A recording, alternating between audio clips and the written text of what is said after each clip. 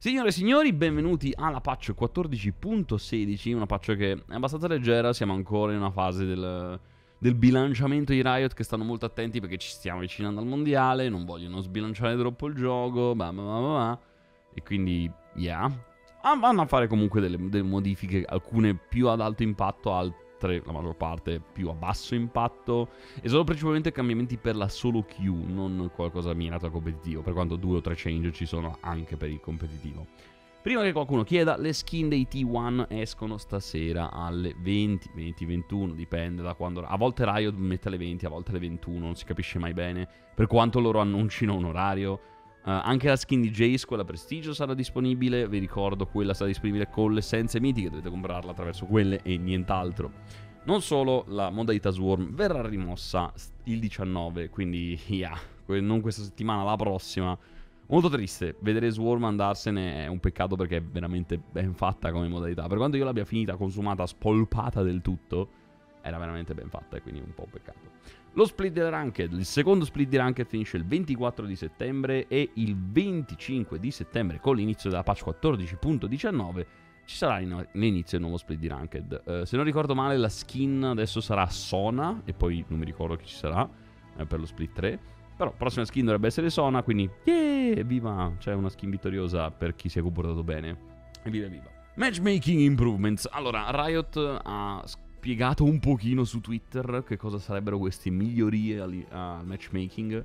La prima e più importante è il fatto che hanno modificato la regola di come funziona l'off-roll parity. Allora, c'è questa regola nel matchmaking di Riot in cui se tu sei fuori ruolo, tu vieni messo in un match contro un team che ha un'altra persona fuori ruolo. Quindi, team blu, c'è una, il jungler autofillato, team rosso, c'è un'altra persona autofillata, a prescindere dal ruolo. A caso sto dicendo adesso. Cosa hanno modificato?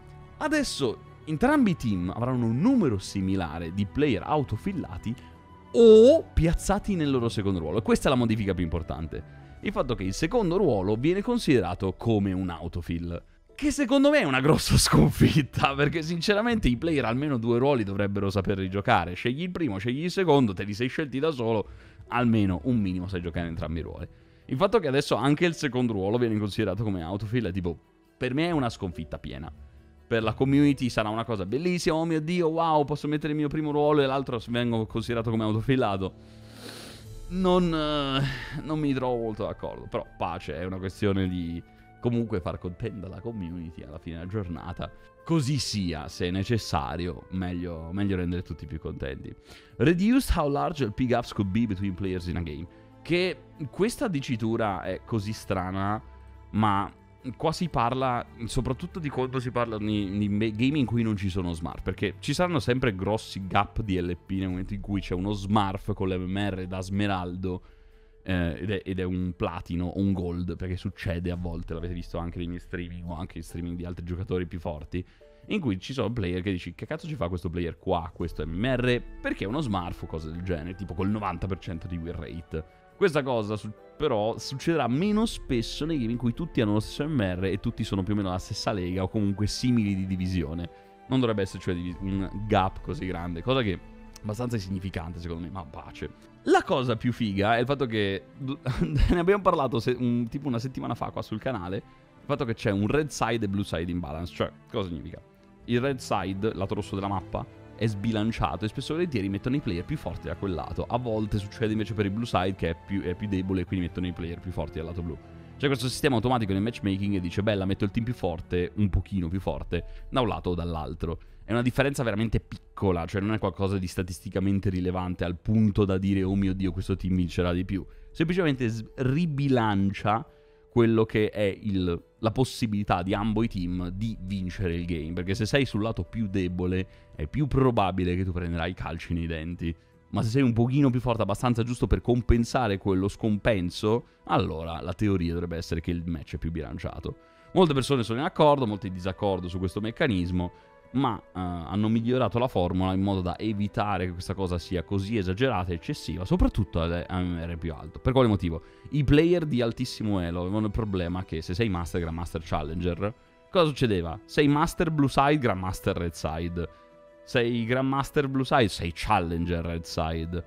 È questo il fatto, cioè tu avevi dei team veramente troppo più forti al lato rosso a confronto con il lato blu e questo si sentiva quando ti trovavi in partita.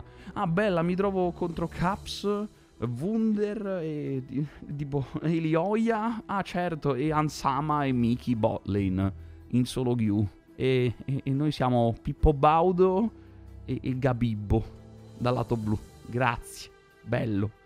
Sì, non, non, era molto simpatico, questa cosa l'hanno ridotta un pochino. C'è da vedere, come sempre, il discorso è sempre lo stesso con Riot.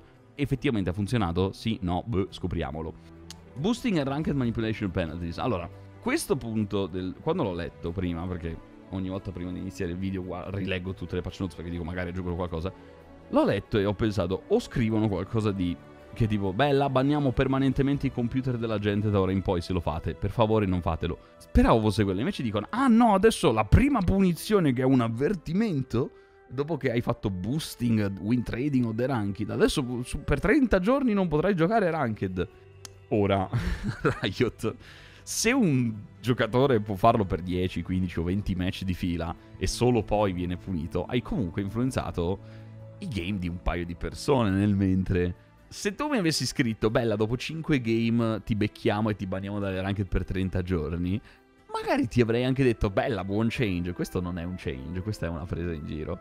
Io spero davvero che si mettano seriamente a fare... A, a, ad affrontare il problema, perché è una cosa che succede ad ogni singolo elo. E lo dico da persona che anche in passato ha detto, bella, sì, gli smart ci sono, ed è una cosa che dovrebbe essere comunque ridotta o eliminata quando possibile. Infatti vari aggiornamenti al Vanguard cose del genere dovevano aiutare sotto questo punto di vista. Un po' stanno aiutando perché gli account ora costano anche 15-20 euro, un account nuovo di zecca prima costava 2 euro, ma continua a succedere comunque, quindi se vedi che quelle cose non cambiano e che i player che facevano prima queste cose lo continuano a fare, forse, forse dovresti pensare, forse, forse dovresti pensare di dire, bella, banniamoli e basta, sta gente sta rovinando il gioco per gli altri. Eh... Tanto arriverà sicuro il commento sotto. Ma tanto tu fai la stessa forte sali challenge, che cosa c'entra? Anche se tutte le persone partono sopra Platino, che è sopra l'80% dei player. E quindi le persone impattate sono veramente poche a confronto. Ma pace. Tanto c'è sempre qualcosa per cui protestare. Tolgono la pagina profilo della carriera, eh, che nessuno usava. Meno del 3% dei player, quindi dai, qualcuno lo usava, quella pagina. Non so perché, visto che esistono questi siti e tanti altri che... L'Olalytics, usate l'Olalytics.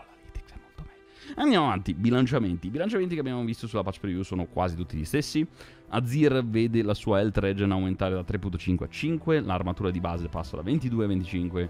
Questi sono cambiamenti che lo aiutano molto in matchup AD e soprattutto, considerato il nerf del piede destro recente, lo vanno ad aiutare e neanche poco. Azir è sempre rimasto uno, una colonna portante del competitivo. Vederlo ancora buffato, per quanto sia un buff piccolo, soprattutto a livello di sustain, che è una cosa che principalmente utilizzi competitivo, cioè lo sfrutti al 100%, mm, non la cosa che mi piace di più in assoluto, però, oh, pace, questa è la scelta che hanno deciso di fare.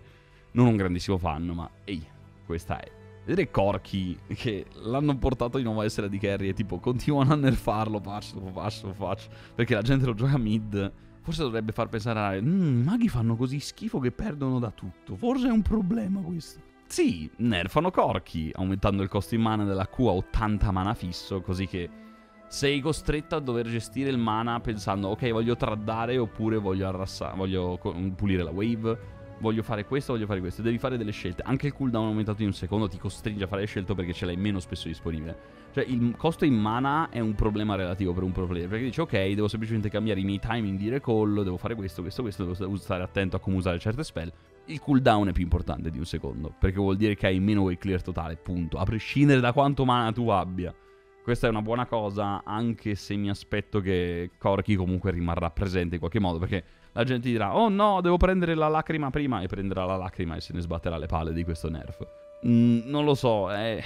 Corky, Corky e la mid lane hanno una montagna di problemi. Allora, io ho fatto tutto questo discorso nella patch preview su Katarina e su come come la modifica era effettivamente un buff. E sono d'accordo, d'accordo che la modifica sia un buff. Mi dà molto fastidio la motivazione che hanno tirato fuori, per cui hanno deciso di fare questa modifica. Allora, Katarina è un champion che negli anni ha subito una montagna di cambiamenti per motivi diversi, perché era frustrante per i player da affrontare, perché era troppo forte, perché l'itemizzazione che c'era non funzionava più per Katarina, e infiniti motivi, avanti, avanti, avanti. Poi hanno inserito il sistema on-hit e quant'altro, hanno dovuto ribilanciare attorno a quello e ci sono stati vari problemi. Nel tempo poi l'hanno trovato un bilanciamento e la versione on-hit era quella più favorevole, ma comunque la maggior parte della gente la build up e continuava a trovare successo con la build up. Ero convinto che Riot avesse tirato fuori questa modifica alla Q che aumenta il danno base della Q di 10, 20, 30, 40 danni più il 10% di scaling AP da 35% a 45% AP dicendo ok, stanno andando troppe persone per la build on hit, vogliamo che vadano per la build AP piuttosto che si basa principalmente sul playstyle di lanciare, arrassare con la Q, fare chip down sul tuo avversario di arras e poi fare all-in, riducendo il danno sciupo di 5, 10, 15, 20 danni dal secondo rank in poi, anche qui dici ok, stai ribilanciando il danno, portando più sulla Q, togliendone un po' la E, i Dead Lotus togli l'effetto NIT del 5%, vabbè l'efficacia degli effetti NIT del 5%, ok, fino a qua tutto sensato. Ma dirmi che la motivazione è perché la maggior parte dei player di Caterina build AP e opta per maxare la Q, nonostante la E e la build on it siano quelle più di successo, che tutti siamo d'accordo che la build on it e la build con il max di E siano quelle più di successo, perché è una cosa che non puoi ignorare statisticamente, cioè tu lo guarda e dici ok, la build on it è più forte, punto. Soprattutto in spe- specifici counter matchup era veramente specificamente più forte. Ma il fatto che tu lo cambi perché, eh, ma i player la giocano così è tipo... ok rendere i player contenti Riot, ma questo è questo è semplicemente togliere un'opzione, nerfare un'opzione per abilitare una build. Che se tu mi avessi detto vogliamo incentivare le persone ad andare per la build AP, io dico bella, ci sta. Ma questo non è incentivare, qua è proprio dire non ci piace questa roba, non la vogliamo. È un, lo so che sembra una differenza stupida di mindset, ma è grossa per me. Perché se tu mi dici io voglio che ci sia maggiore varietà, ci sto. Qua mi stai dicendo che ne vuoi meno. Perché? Non mi ha dato molto fastidio il contesto che hanno dato su questo change, molto fastidio. Però è un buff, a prescindere è un buff, cioè questo è innegabile, per quanto la gente strilli che non lo sia, ehm, è un buff. Andiamo avanti. Lucian, questo lo definiscono ribilanciamento perché dicono ah, adesso la passiva ti scala col 5% della D totale in più. Bella, è un, effettivamente un buff, innegabile questo. Con un nerf alla Q che sono 10 danni in meno ad ogni singolo livello, il che impatta il tuo ras attraverso la lane, il che impatta il tuo way clear, quindi dici sì, è un nerf, è un nerf questo qua a livello di fase in corsia centrale, soprattutto perché pulire la wave in fretta in mid lane è molto importante. Poter arrassare attraverso la wave di minion è molto importante. Diciamo che speravo qualcosa di meglio. Tipo, di nuovo, torniamo sempre al discorso. Se i maghi sono deboli mid gli Eddie Carry stanno vincendo mid lane e non è l'unico Lucian, non è l'unico Corky perché abbiamo visto anche Draven mid essere giocato in LCK, abbiamo visto Zeri mid essere giocato, abbiamo visto Kaisa mid essere giocato, abbiamo visto Ezreal mid essere giocato. Quindi se vedi che tutti questi campioni esistono mid lane, ma scusa, ma ti viene il dubbio che... Ma poi abbiamo anche Smolder mid, Smolder top, ma... Ma ti viene il dubbio che forse i maghi sono deboli? È mai venuto il dubbio, Riot, che forse gli oggetti da maghi come primo Spike sono più deboli di quelli di Carry, che dovrebbero scalare in late game. Così, eh? Così, giusto per dire. Sì, comunque bella, è un nerf a Luciani midlane. Pensiamo ai maghi, un pochino. Perché poi guardi come Riot pensa ai maghi e metti 5% di scaling AP, AP sulla Q di Orianna, che sono in totale 30 danni quando hai 600 AP, che è la media di quanto fi- con quanto AP finisci in late game a 6 oggetti. Ora, se questo è il buff che la Riot pensa che sia sufficiente per andare a bilanciare un campione, mago, che attualmente è messo una merda perché Oriana è messo una merda, capisco perché i maghi siano sempre così una merda. perché questa è una presa in giro. Serio, non è, una, non è una modifica, questa è una presa per il culo. Anche se questa, questa è una presa per il culo molto più grossa. Cioè, questo quando l'hanno elencato come ribilanciamento mi ha fatto morire. Dicono, ah, ti aumentiamo l'armor di 3 da 28 a 31. Bellissimo contro altri assassini AD mid. È molto buono questa cosa. Ah, abbiamo aumentato il danno di 10 al primo rank di, di 5 al secondo, uguale al terzo, è ridotto di 5, di 10 al quarto e quinto rank. Ma abbiamo messo il 15% di scaling a D bonus, quindi chiaramente la Q adesso è buffata. E dici ok, sì, ha un migliore scaling sulla D bonus, quindi ogni 100 di AD guadagni 15 danni, quindi grazie Riot, bella. A 100 AD faccio sempre più danno con la Q, a prescindere. No, non male, non male. Ot- ottima cosa, anche già meno di 100, sono 65 di AD se non ricordo male la soglia. Mm, dici, ok, i danni bonus dei mostri sono, passano dal 50% al 75% sulla Q. E wow, questo così le permette un pochino di giocare, tutto bellissimo. Poi togli 6, 12, 18, 24 danni dalla W. E dici, vabbè, sono sui valori di base, quanta differenza fa? È su ogni singolo autoattacco, per chi non lo sapesse. Uh, sì, e finché non consumi la Q. Bello, grande. Uh, questo, questo buff è stato già cancellato. E poi decidi di togliere il 50% dello scaling a D bonus. No, vedi il 45%, scusate. Il, da 100 sta andando a 125% bonus AD. Quindi togli il 45 danni ogni 100 bonus di AD dalla ulti di Kiana. Dove dovrebbe essere un ribilanciamento questo? Cioè, se mi avessero detto è un leggero nerf con un ribilanciamento per mettere più sulla Q, dico ci sarei stato. Ma loro l'hanno pensato, ah no, questo è un buff. È un aggiustamento che tende a buffare. No! È proprio una presa... A me dispiace per i Kiana main. Cioè, è così strano, è così strana questa cosa. Allora, effettivamente, in early game tu farai più danno, ma post livello 11 tu farai sempre meno danno. Cioè, già dal livello 6 in poi tu ti ritrovi con una combo più debole di prima. Però, boh, eh, questo change di Kiana non mi piace. Secondo me l'outfixano con un buff. Sono abbastanza convinto che l'outfixino con un buff o che aspettano due settimane e dire ops scusate abbiamo cagato fuori dal vaso XD no non, questa è proprio no.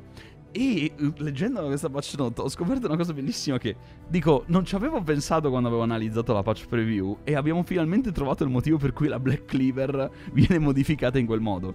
Allora Senna cosa vanno a fare? cercano di ribilanciarla togliendole le scaling da letalità Riducono l'attack speed per livello da 4% a 2% per ridurre la sua presenza di DPS. Riducono la quantità di critico che guadagnano di 20 stack per ridurre la sua build da, da DPS da competitivo che giochi Senna Tam Kench, quella vogliono togliere.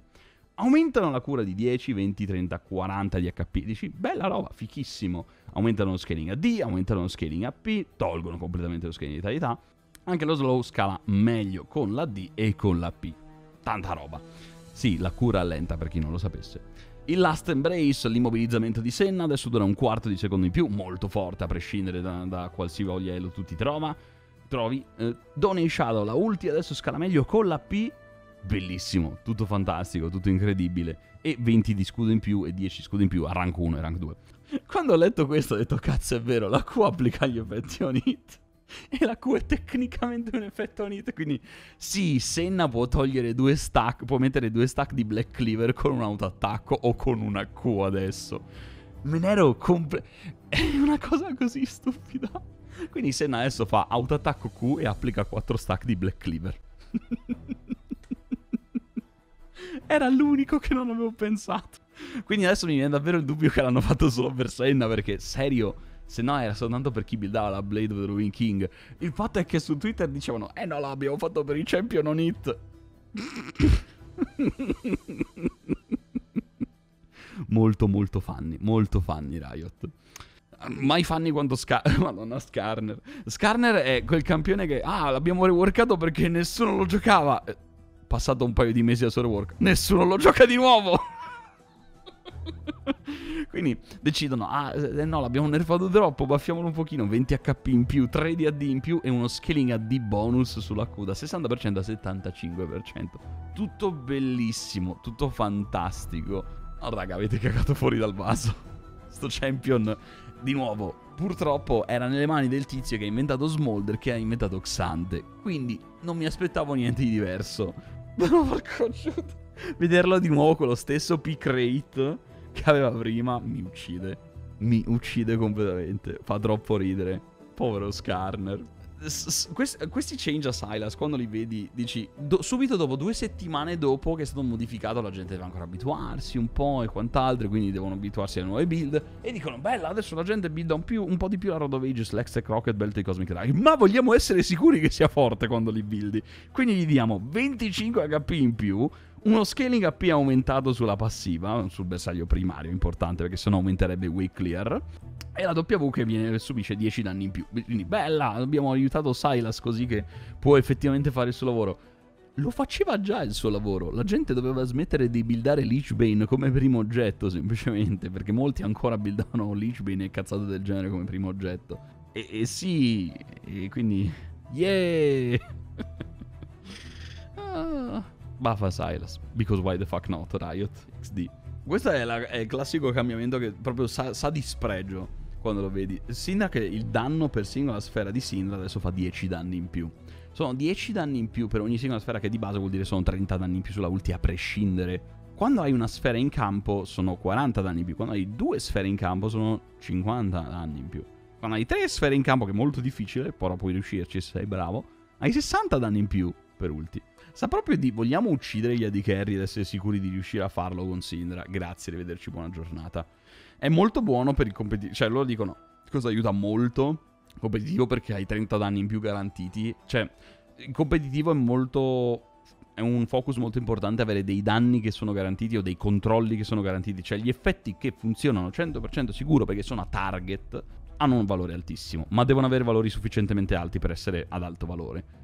La ulti Sindra è un buon modo per andare a buffarla per il competitivo. Non che ci mancasse Sindra mid lane, però almeno la dovremmo vedere un pochino più spesso, anche se un sacco di pro player la giocano un po' tipo... Ah, un po'... Mm, un po'... Eh, eh, poco convincente. Vedere il danno minimo della QDV aumentare di 5, e questo è il buff, è una presa in giro. Sono 5 danni in più sulla carica minima della Q e 10 danni in più sulla carica massima. Riot, per favore. È, molto molto accondiscendente questa cosa. Non fatelo, per favore. Wukong. Wukong che vede uno di armatura in più per singolo rank della passiva. Molto buono perché ricordatevi potete ottenere più cariche della passiva. Questa è tanta tanta roba. Si parla di 6 armature in più a livello 1 in un trade prolungato. E l'attack speed aumentata della E del 5% di attack speed. In, a livello 1 Wukong con la E non è per niente male ora. Con Conquistadore. È, è, è strano. È, è, strano vederlo buffato, perché è il classico campione che è molto semplice, molto d'impatto quando sai giocarlo correttamente. E, e quindi è, co- è, come vedere Garen buffato, è sempre frustrante. Però se tempo dici, ok, vediamo dove va, vanno a parare. Però questo è un buff netto, e quindi sono tipo, mmm. Cioè quando vedi Wukong che viene buffato è tipo, mmm, ti preoccupi e basta. Soprattutto per il competitivo, perché campioni semplici che fanno cose garantite sono sempre qualcosa in competitivo a altissimo valore. Wukong adesso è di nuovo uno di quei campioni che fa quelle cose per l'armatura, perché se buildi Black Cleaver, cose eccetera eccetera, in maniera tancosa, tanchi, ma fai anche danno, un po' peric- un pelo pericoloso Riot, un pelo. La Black Cleaver, questo è... mi fa morire che anche qui mettono Senna proprio tra parentesi per dire facciamo un esempio, Senna.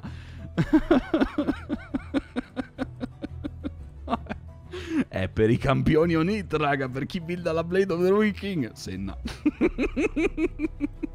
Comunque sì, questa modifica la regola Black Cleaver che adesso puoi applicare due stack contemporaneamente. Funziona sia per chi builda la lama del Re Rovina che per Senna. Bella, per chi builda la lama del Re Rovina andare Black Cleaver seconda è un'ottima cosa. Buon per voi.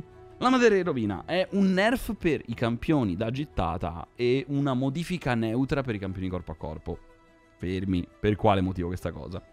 Tu perdi 5 di AD e perdi 5% di attack speed e questo è un grosso nerf a prescindere per i campioni gittata. I campioni gittata avranno sempre 6% di danno, anche nel nuovo sistema, ma i campioni corpo a corpo passano da 9% della vita attuale a 10% della vita attuale. E uno dice, scusa Lapo, come fa quel 10, quell'1% in più a fare la differenza di 5 di AD e 5% di attack speed? Caro mio spettatore, grazie per avermelo chiesto. Perché l'1% di vita attuale su un bersaglio, basta che il bersaglio abbia più di 500 HP e sono 5 danni in più. Ora uno mi dice, vabbè Lapo, però col 5% di attack speed comunque l'hai perso. Assolutamente vero, mio spettatore che sta facendo tutte queste domande che io non sento per qualche motivo. Ma ti ricordo che ogni volta che un bersaglio ha più di 500 HP, tu stai facendo più danno di prima. A prescindere. Per ogni singolo colpo.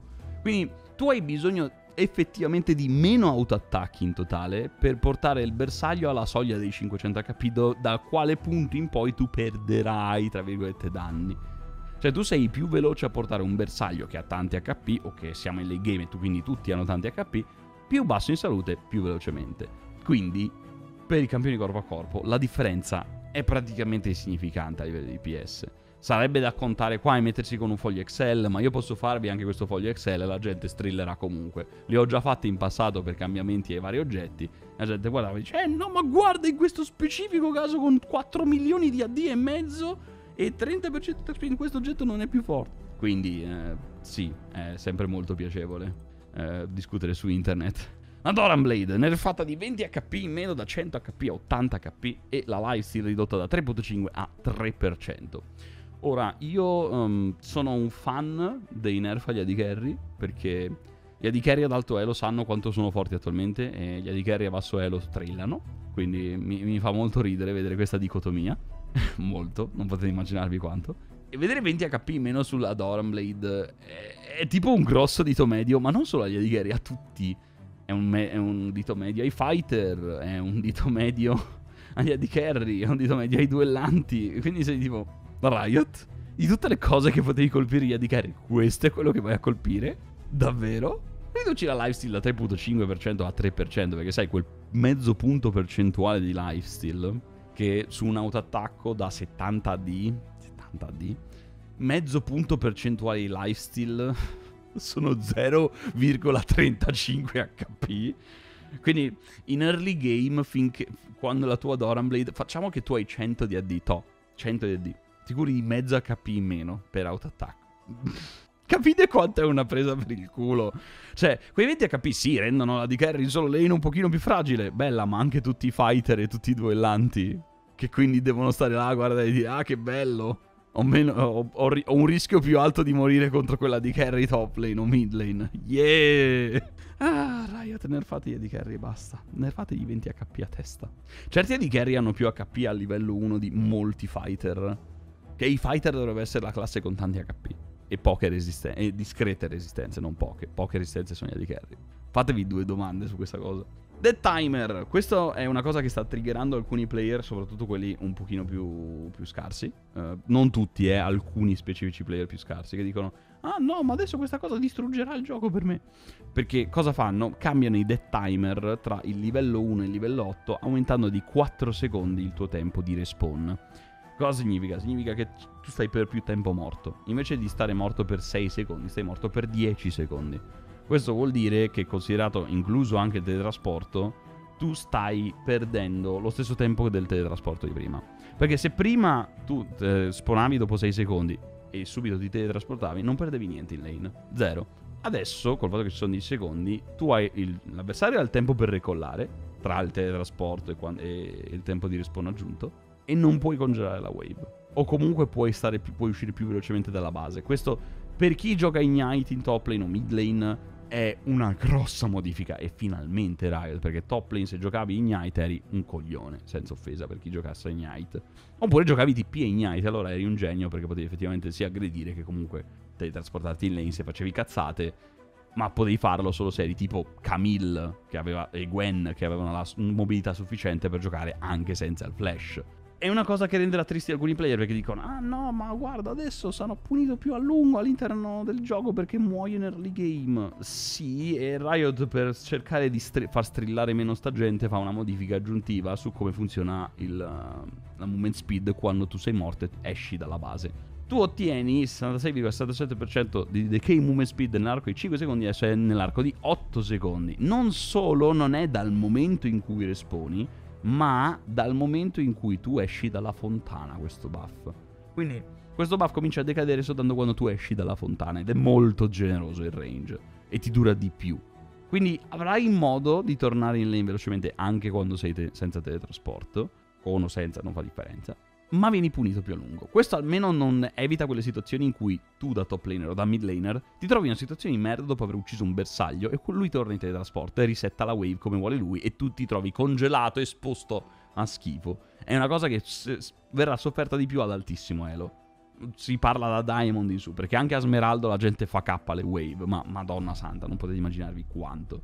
Una roba ridicola. Però buono, perché attualmente, questo qua oltretutto è un nerf a Baus buono, perché serviva evitare di dover essere costretti a giocare teletrasporto a prescindere. E in top lane o giocavi teletrasporto o eri scemo. Quindi, yeah. Vabbè, modifiche varie ed eventuali all'arena, buff, nerf, quant'altro, però voglio, farvi, voglio portarvi al cambiamento più bello in assoluto. Non la rotazione delle skin mitiche che vi ricordo è sempre alle 8 di sera, ma questo. Per domanda popolare dei player, i mastery point in, in, uh, in caricamento sono stati riaggiunti. Adesso potete far tremare i vostri nemici mentre vedono il numerino molto grosso che avete accumulato. Congratulazioni. Visto che protestare e rompere il cazzo per le cose funziona, abbiamo riottenuto i mastery points in caricamento. Bene, signori, questo è quanto per questa patch. Io vi ringrazio tutti quanti e vi ricordo di iscrivervi al canale che managgia il cazzo, sono sicuro che molti di voi non lo fanno. Ma se non l'avete fatto, oppure se l'avete già fatto, passate sul mio canale Twitch e fate la sub. Questo è quanto per questo video e io vi ringrazio e noi ci vediamo al prossimo.